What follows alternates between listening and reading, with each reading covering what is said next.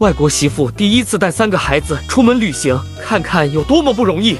出发！第一次我们三个一起出来旅行，开心吗，露露？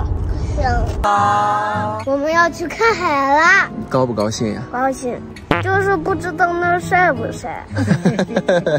这朋友们都说，我们出去的时候就带俺呐看看。今天我们都出来了。都带上，就是不知道我们会弄出什么样的乌龙事件，我能不能坚持住？我们北戴河见，大耶哈利！我们要出发啦！你们一口。第一次我们三个一起出来旅行，开心吗，露露？开心。嗯，你呢？不开心。你为啥呀？他们三个旅行真是不容易，需要给他们准备很多玩具，还有这几件换洗的衣服，还要给他们拿药、洗漱用品。虽然累，但是也必须带孩子们出来见见外面的世界。你好，你好，我的头发是真发，要是假发，早就扯掉啦。在等服务区准备吃饭呀，看看我们拿的多少泡面。从大同呃到北大河，我们有开车几个小时，所以只能在服务区中午吃饭。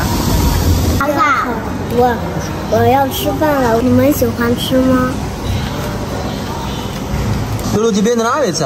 爸，我给大家那个先吃，把带留上一点点，然后就不会溅到身上。哎呀，真的，奶奶是怕溅在身上。我们都可以试。哦，我们自己试试。我这样吃就溅不到身上了。我怕烫呀。这样试试，哎呀，就是哎，这样。下巴壳弄在下巴壳上面，是不是？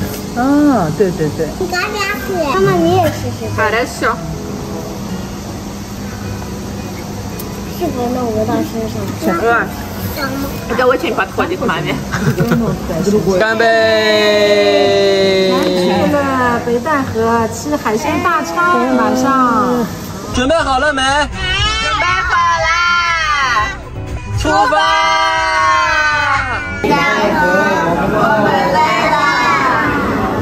干杯！我已经闻见大海的味了，闻见了呀！我已经等不及要去游泳了。